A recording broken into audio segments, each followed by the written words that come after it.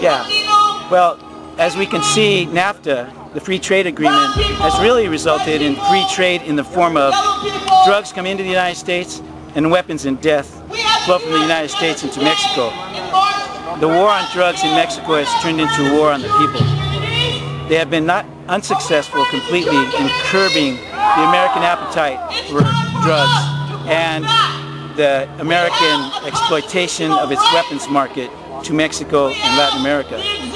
So, on the other hand, the Democratic Party has completely disillusioned the immigrant community, has not lived up to any of their promises for any type of immigration reform. The Obama administration has not taken the leadership, used its administrative powers to implement immigration reform or to curb some of the new policies such as secure communities. Under secure communities, victims of crime can be subject to deportation.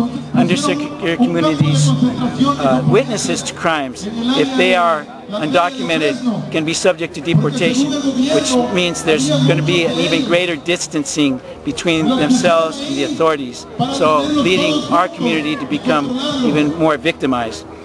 So to conclude, what it's going to take, it's going to take a strong coalition, grassroots movement with a very powerful message, but with a deep analysis of the capitalist system and this government so that we can begin to use our economic leverage, our political contacts and support and begin to undermine the uh, strategy of attacks which are being led by the Republicans using as foot soldiers the Tea Party and other conservative activists, the Minutemen, and uh, other elements, the most racist and conservative elements in the community. And we will prevail in the end.